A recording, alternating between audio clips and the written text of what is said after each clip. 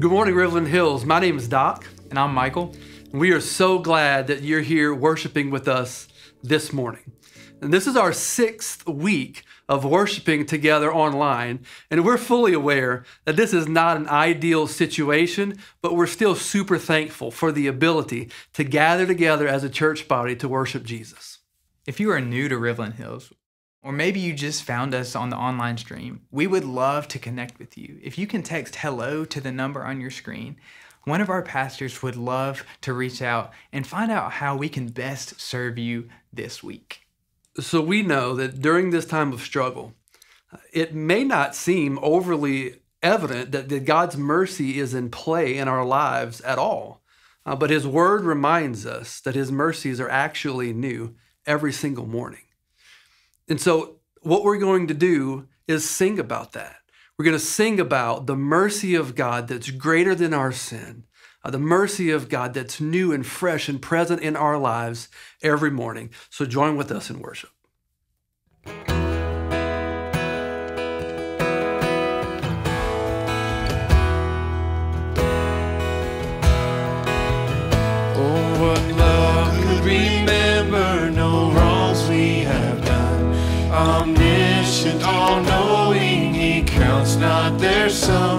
Thrown into a sea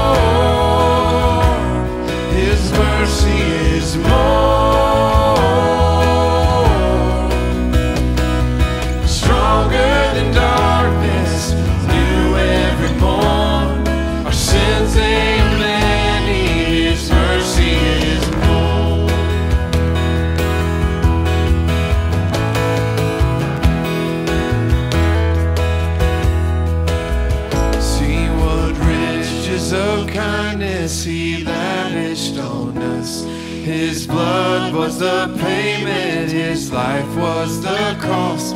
We stood neath the debt we could never afford. And our sins, they are many, his mercy is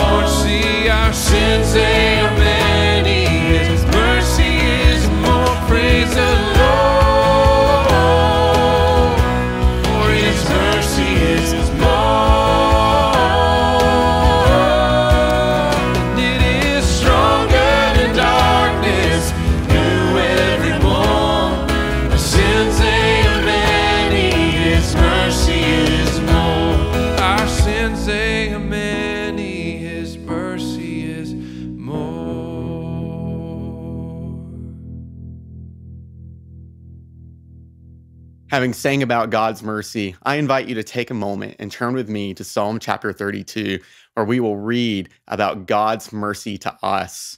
Read these verses with me as we look forward into our next song, where we see the ultimate expression of God's compassion towards us with Jesus dying on the cross for our sins.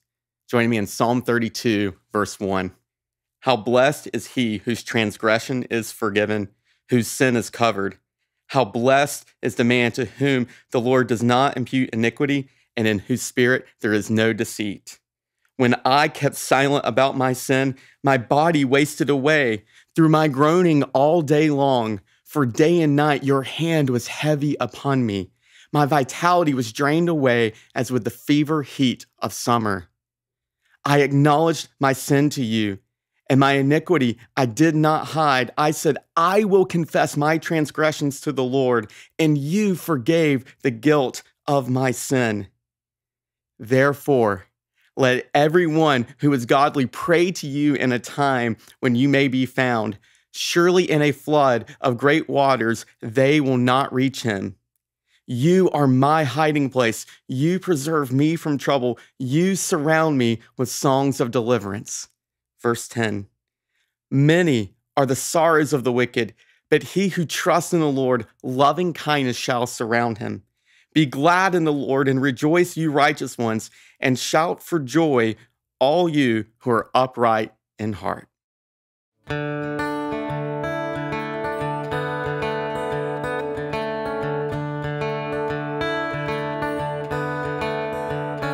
Uh, Alas, indeed, my Savior bleed, and did my sovereign die? Would he devote that sacred act for sinners such as I? Was it for crimes that I had done? He groaned Amazing pity, grace unknown, and love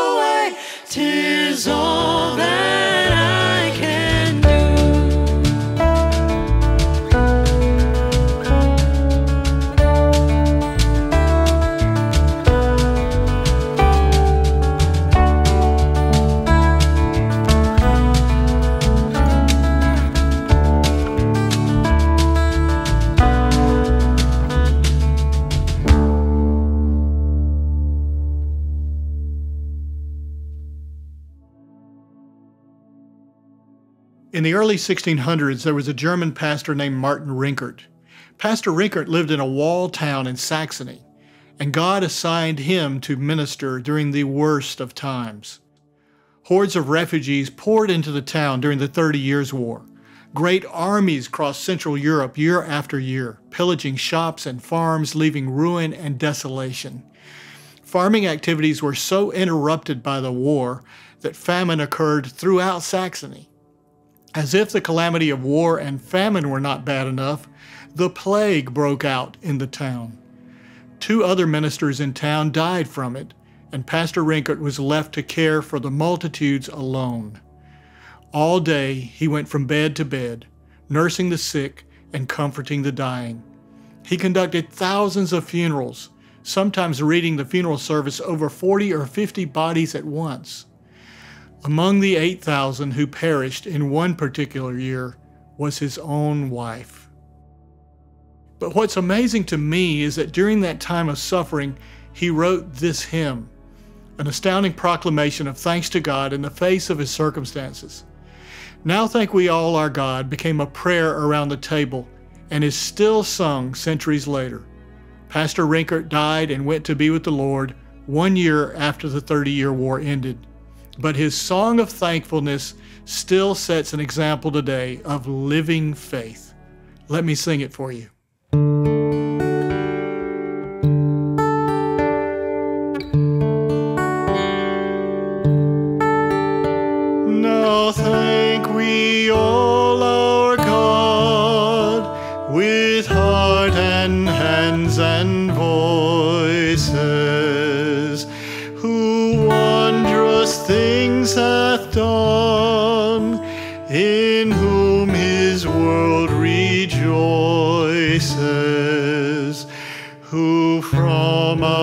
Our mother's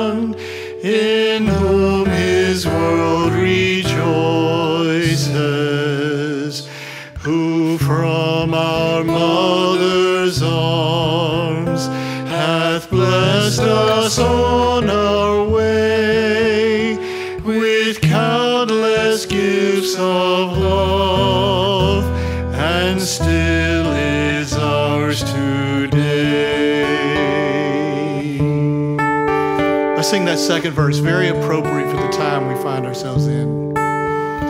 Oh, may this bounteous God through all our life be near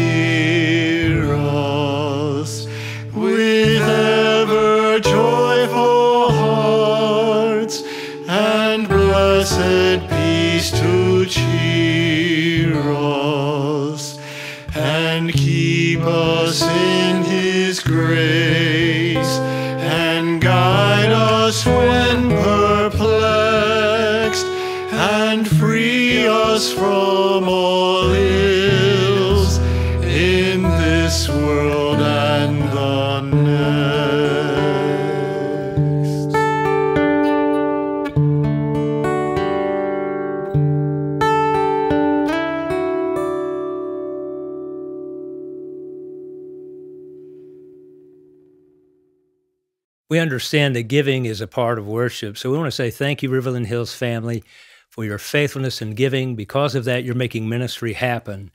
I think of a story I heard recently of a member of our church that works in the medical field who shared the gospel with a couple, and then they watched our worship services.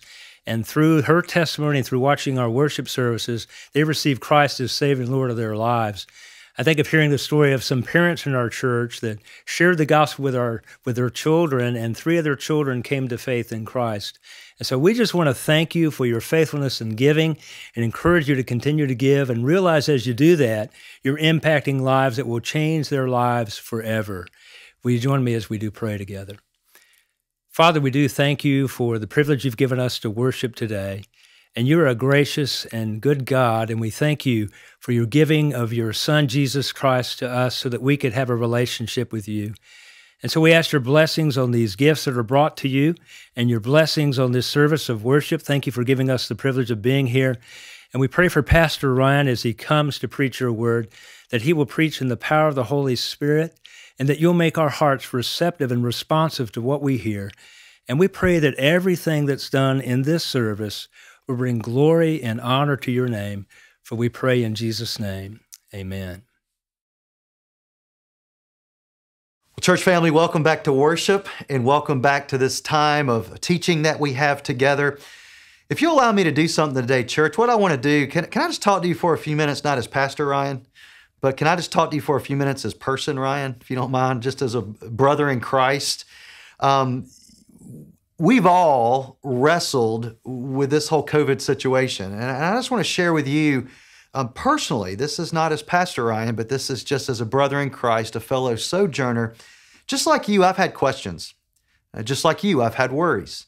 Um, just like you, I've got a lot spinning around in my mind about what's next. Of course, there's the whole weight of the church side of things about um, what's ministry going to look like in the weeks and months to come? How do we get open back up? And all the things that go along with the weight of church ministry. But then I'm a dad. Uh, I want to take care of my family. I've got concerns that are way on my shoulders and, and different things like that. But I've gone to the Lord uh, over these past couple of weeks. Um, I started out just in as probably many of you did, just in survival mode, that we had to adjust so quickly to a new normal. We all had to do that, and I had to do that as a person, not just as a pastor.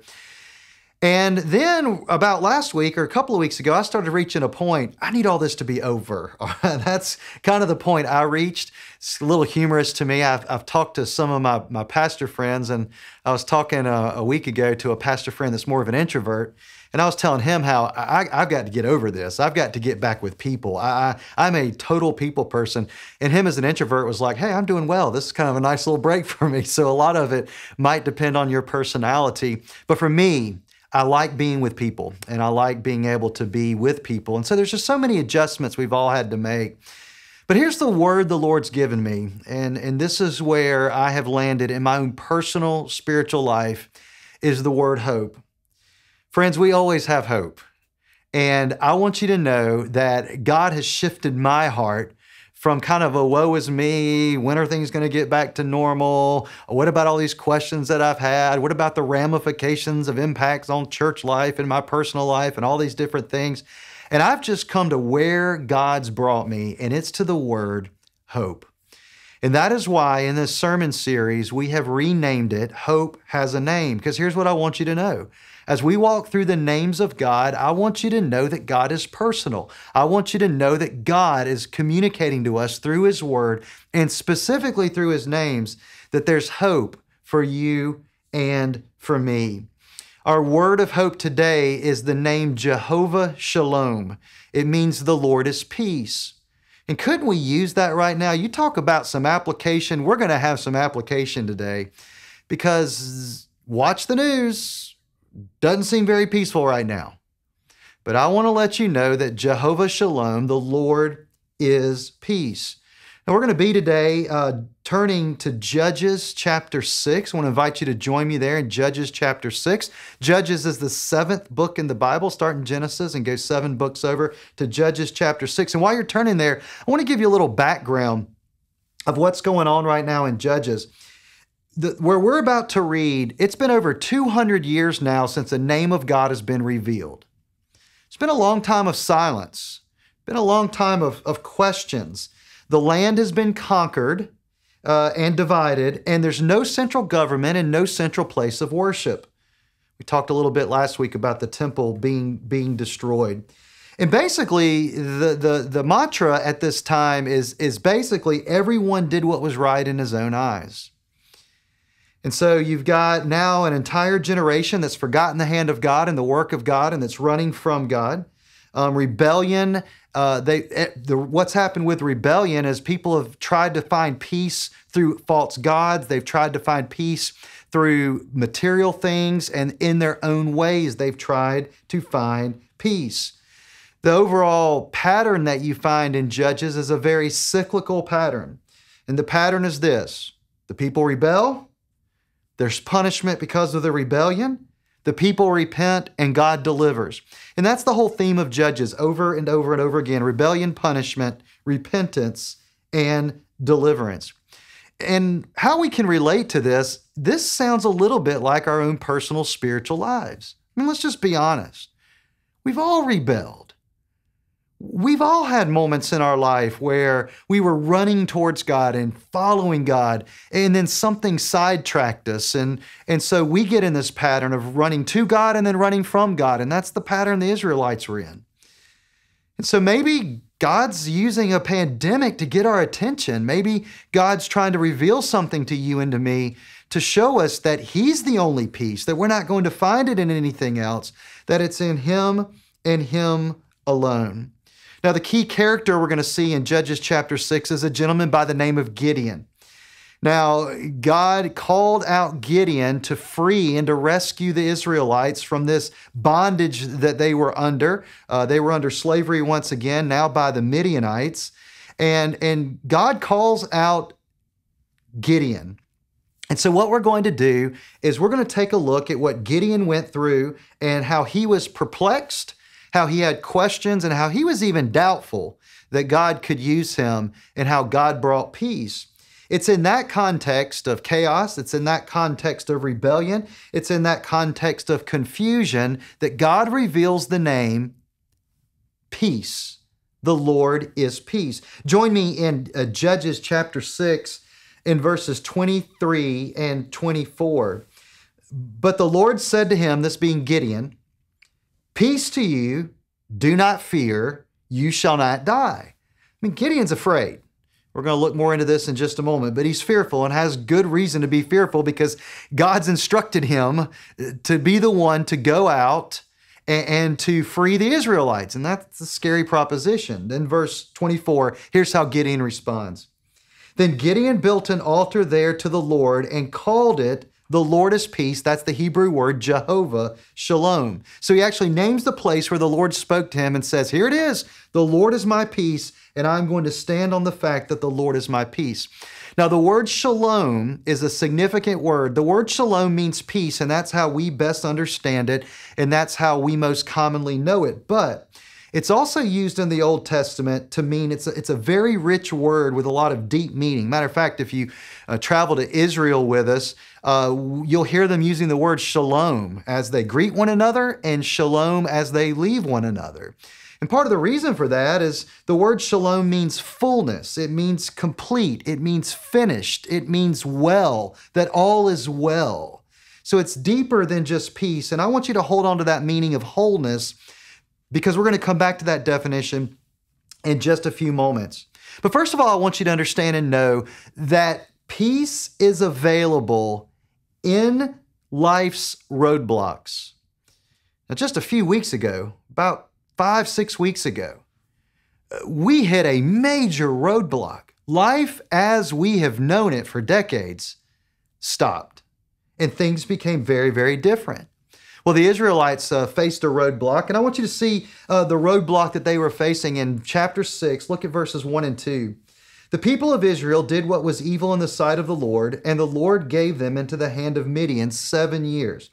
Now, you talk about throwing the brakes on something. They had the brakes thrown on their life for a seven year period. And the hand of Midian overpowered Israel. And because of Midian, the people of Israel made for themselves the dens that are in the mountains, and the caves, and the strongholds. So instead of the people even living in the towns that they were used to living in, they're now retreating and had to run to the mountains and are hiding out in dens and caves. It's a horrible time for the Israelites. Look how it continues in verse 3.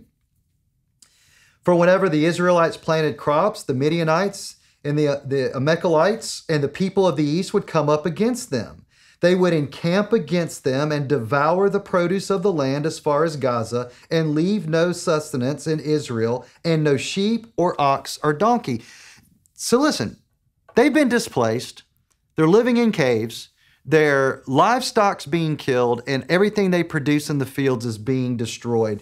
It is a terrible time where life has been radically changed for them and life as they known it have known it has totally stopped.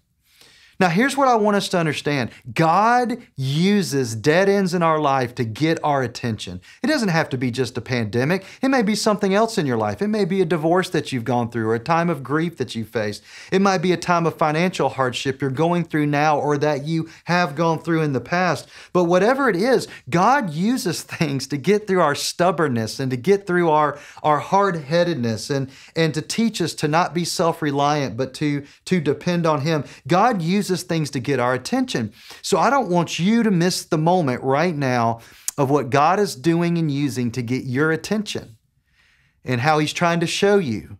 Maybe you've looked to the wrong things to find peace. Maybe you've tried the wrong things in your life to find peace. And what God wants you to understand in this season, in the history of your life, is that He is the Prince of Peace in your life. So there's peace available when there's times of, of dead ends in our life. There's peace available, second of all, in moments of disobedience. Now, welcome to the club of disobedience. We've all sinned and fallen short of God's glory. There's not one righteous, no, not one. We've all dropped the ball, we've all rebelled, and we've all disobeyed. And the Israelites, God's chosen people, they had moments where they trusted God and followed Him, and then they had moments where they radically rebelled. We can relate to this. I love the honesty of Scripture. It's one of the things I love about it. I love how the Scripture doesn't try to paint some pretty perfect picture. What it shows is reality. And in verse 10, I want you to see this. God says, And I said to you, I am the Lord your God. You shall not fear the gods of the Amorites in whose land you dwell, but you have not obeyed my voice. That God calls them out. Look, you've, you've, been, you've been disobedient. You've uh, run from the Lord and you've been very disobedient in what you've done. You've looked to the wrong things to try to find peace in life.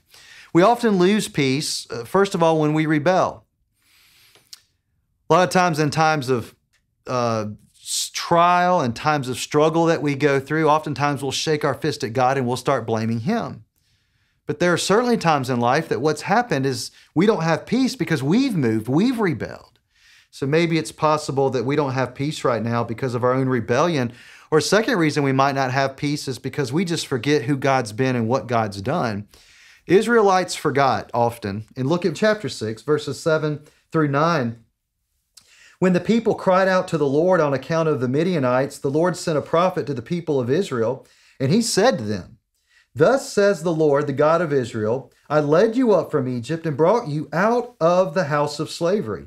And I delivered you from the hand of the Egyptians and from the hand of all who oppressed you, and drove them out before you, and gave you their land. What God's saying here is how, now that you're under bondage with the Midianites, how in the world can you forget that I brought you out of slavery from Israel? We are so forgetful. And one of the techniques you can be doing right now, if you're worried, if you've lost peace, one of the things you can do right now is to remember the remember who God's been and remember God's track record. We get busy in life and we forget God's track record. And maybe right now, what God's trying to do is He's just trying to help us remember what He's done and His track record. I've been reflecting back this week just on Riverland Hills. Um, I've just been thinking about just what what what an what a fascinating and phenomenal um, almost uh, moving on towards a 52 year journey we've now had in the life of our church that we started out in a classroom at Irmo High School. Uh, that God gave our, our, our, original members that started out the vision to buy property and to build on St. Andrews Road. That over those years, God gave the church the vision to expand, to make room for more people. Then we had a huge step of faith, a challenging step of faith. Were we going to relocate or not? And God you know, gave us the vision to relocate. And since we've re- relocated, we've watched God double us in the number of people that we have in our church family, the number of people we've been able to reach. And we've watched right here in this location how we've been able to grow and to reach more people. So, time after time after time again, God's track record is He always gets us through over and over again. So we need to understand that there's peace available to us in dead end moments when you wonder what's going on. There's peace available to us in those disobedient moments. There's peace available to us in times of questioning. Boy, are there questions right now. There's all types of questions out there. And I, have got great news for you. Gideon had questions. Watch this. Look in chapter 6, starting in verse 12. And the angel of the Lord appeared to him, that's Gideon, to Gideon, and said to Gideon, The Lord is with you, O mighty man of valor. And Gideon said to him, Please, my Lord, if the Lord is with us, then why has all this happened to us? Great question. If God is with us, then why has all this happened to us? And he goes on and says, And where are all of his wonderful deeds that our fathers recounted to us, saying, Did not the Lord bring us out of Egypt? But now the Lord has forsaken us and given, given us into the hand of Midian. I mean, here, Gideon stands being called out to, to, to, to save Israel. And what's Gideon doing? He's asking questions. God, where are you in all this? What, what are you doing? And here's here's some good news I want you to know that's encouraging to me and it should be encouraging to you. I find it fascinating that God would choose to use someone that asks questions. it's great news for you. It's great news for me because I got a long list of questions right now. But here's what we do in faith. What we do in faith is we trust who God is. And peace is this. Os- Oswald Sanders said this Peace is not the absence of trouble, but the presence of God. So peace doesn't mean that everything's going our way. Peace doesn't mean that every day is always perfect. What peace means is that with us through all of it, we have the very presence of God. And we understand that in the midst of that, it's okay to have questions.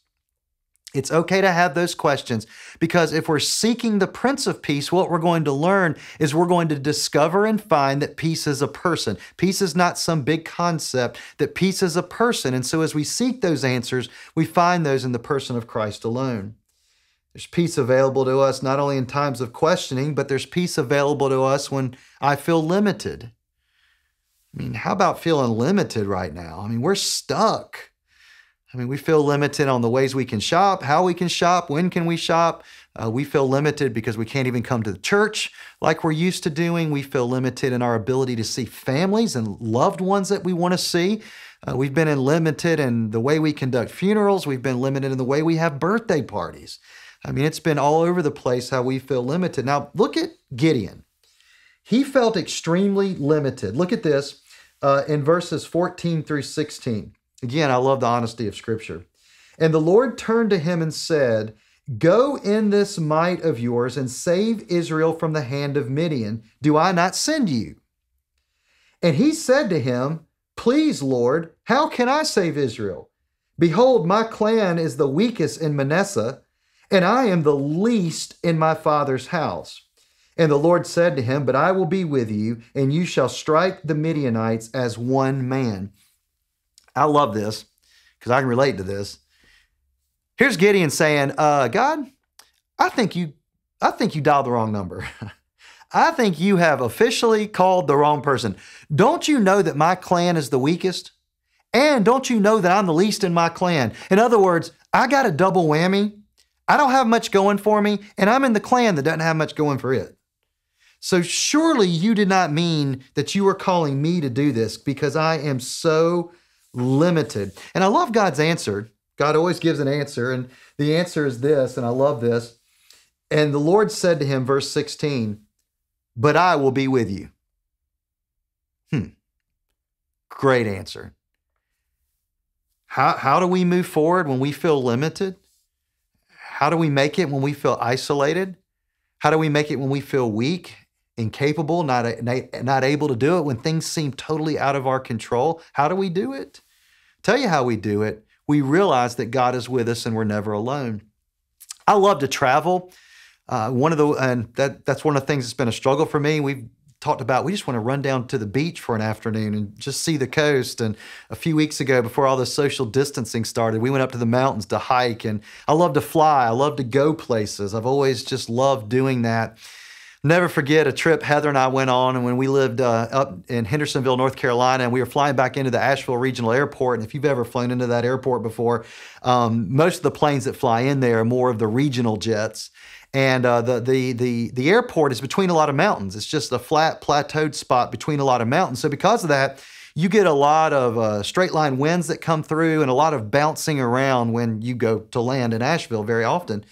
And we were on this uh, small regional jet flying in. The plane got extremely turbulent, bouncing like crazy. I feel like the thing's going to crash. We're almost about to land on the runway, and you hear the engines roaring. And that pilot takes right back off before he even hits the runway, takes back off. And we get back up and we start circling around again. He tries that three more times.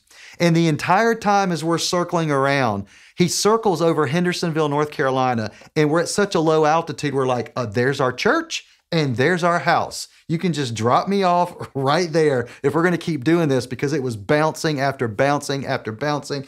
Um, I know people's fingernail marks were in those armrests. It was crazy, crazy flying. But every time we would go into land and the straight line winds were too much, he would he would uh, go back up again and start circling one more time. He would come back every time the calmest of any of us on the flight. All of us in the back, nervous wreck, right? The pilot, sorry about that, folks. Some rough turbulence. Want you to know we're going to be okay. We're going to find a smooth cruising altitude and we're going to circle around a little bit more and we're going to try again. Now, what amazes me about that, I'm looking out the window and it looks like the wing could fall off of this plane. I know it's not, but when you watch it bouncing around and shaking the way it was and the way the plane felt, I'm like, this thing's going to fall apart, what it feels like. But the captain's completely at peace and in total control. Right now, we're in a little bit of turbulence, aren't we? And we're in a rough, rough time right now. But I want you to know that beyond the turbulence, there's always smooth air. And the one we trust to get us there is the captain. And what I love about the captain is the captain is at peace and the captain is calm. And so I want you to know that no matter what you're facing right now, that, that God is in control, even when we feel like life's out of control, even when we feel limited, just like Gideon felt limited. We all feel that way at certain times in our life. Lastly, I want you to understand that there's peace available to make you whole. Now, this goes back to what I talked about uh, just a few minutes ago about the word shalom itself, that that word shalom means peace, it means wholeness, it means finished, it means full, it means perfect. Basically, the main idea of Jehovah Shalom is this. It's wholeness in one's relationship with God. It's not that you have a part relationship with God, a partial relationship with God, but you have wholeness in your walk, in your relationship with God. There's a passage in Philippians chapter 4, verse 7 that says that peace passes or surpasses, it transcends our understanding, and it will guard our hearts and minds in Christ Jesus. What I love about that verse is it says, Peace transcends our understanding. Are there things I don't understand right now? Absolutely. Are there questions you have and things you don't understand right now? We're all in that same boat. But here's what we need right now is we need a peace that supersedes our minds. We need a peace that supersedes our emotions. And that's what this peace is that's offered to us. Over in John chapter 14, verse 27, Jesus himself said this, "Peace I leave with you. My peace I give to you." Not as the world gives, do I give to you. Let not your hearts be troubled, and do not let them be afraid. That Jesus Himself, the Prince of Peace, came so that you and I could have peace. It's very possible that the lesson that God wants you to learn through COVID 19 is the issue of peace. Some of you have dabbled in everything known to man to find peace. You've tried more money, you've tried more popularity, You've tried every drug or substance known to man. You've tried multiple relationships. Uh, you've tried bigger and better vacations. You name it, you've tried it, and you thought that that would bring you peace. Only to discover you continue in that revolving door of never being settled. Well, the only way that you're going to be settled in peace is to know the Prince of Peace. Uh, you will not know the peace of God until you personally know the God of peace. Or to put it this way, peace is not a concept to talk about, but it's a person to know. Well, Pastor, how in the world can I, as messed up as I am, and all that I struggle with, and all of my hangups that I have, how in the world could I ever have peace? And here's how you would have peace it's by receiving Jesus Christ as your personal Lord and Savior. It's by you coming to Him and saying, Lord, I admit to you that I am a sinner. It's a prayer that you can pray directly to God. You don't need a church building and you don't need a pastor. It's just between you and God to be able to come to Him and say, Lord, I admit that I am a sinner and I admit that I've fallen short of your plan. And I come in faith and I receive your Son, Jesus Christ, and the grace that you've offered me. Thank you for forgiving me and thank you for shedding your blood for me. And thank you for saving me. Uh, if you've prayed that prayer, we want to help you in your journey. Maybe you have more questions before you made a decision to pray to receive Christ and you just want to talk with one of us. Well, you can do that by uh, texting the keyword that's on the screen. We'd love to be able to talk with you this week. Uh, you can email me directly at pastor uh, at riverlandhills.org. And I would love this week just to be able to follow up with you as well. We do not want you to walk through your spiritual journey alone. Yes, we're in a season right now where life feels isolated, but we're still a church family and we're still here for you. And we want to be able to walk with you no matter where you find yourself in life. You may have heard before about two artists that uh, were in competition with one another, and they decided to have a competition by painting peace. In other words, what would peace look like if you painted it? Well, the first thing that comes to my mind would be something like um, a tranquil beach scene or uh, Caribbean uh, clear blue waters with white sand and a beautiful sunset uh, right behind it. Or a piece for you might be uh, sitting in a rocking chair up in the mountains with a cool breeze blowing through as you're looking over the beauty of God's creation. Uh, so these artists were in this battle. And of course, one artist, what he did is he painted the perfect beach scene and he painted calm waters. He painted the most beautiful sunset that you've ever seen. And uh, he knew for sure that he was going to be the one to win the competition because of the beauty of his picture. The second painter, interestingly enough, he painted the scene of a storm. And this storm was a chaotic picture with a chaotic storm. The sky was painted dark, there were lightning strikes. Um, and, and, you could see the dark clouds rolling through his picture. I mean, it almost looked like a Category 5 hurricane if you looked at, at the picture that he painted. But what was interesting was in the very corner of that chaotic storm picture, there were two rocks. And if you looked real closely in that corner between those two rocks, you saw the picture of a bird. And there was a bird that was safe and singing. And believe it or not, he's the one that won that competition on what real peace looks like. You see, we try to paint our own picture of peace, what we think it should look like. But peace only works if it works in the storms. Peace only works if it works in the darkest and most difficult times in life. And so, right now, you need to understand that peace is a person. That peace is not some big, vague concept, but it's a person that you can know. And peace is something that we enjoy in the midst of the current storm of COVID 19. We're here for you, and we want to help you know, discover, and walk in that peace. Let's pray together. Dear Heavenly Father, in the midst of the storm, we know that you are the God of peace, you're the Prince of Peace. Lord, I thank you that peace is not some far off concept, but it's a personal, loving Heavenly Father that loves each one of us. And I pray, Father, that we would experience the peace that only comes from you, that you would give it to those who are wrestling and struggling right now. Lord, we as uh, your children, we get to rest in the peace that you're in absolute control and you're going to pull us through this storm. And we know it beyond a shadow of a doubt. We have confidence in you. We have confidence in what you're doing. We have confidence in what you're teaching us. And so, Lord, I pray that this week, for each person listening, that you would give them that peace that passes all understanding when our minds go crazy, when our emotions go crazy. Lord, that you would give us that peace that calms us. Thank you, Father, for giving us a peace that's not of this world, but a peace that's out of this world. We love you, Lord. It's in Jesus' name we pray. Amen.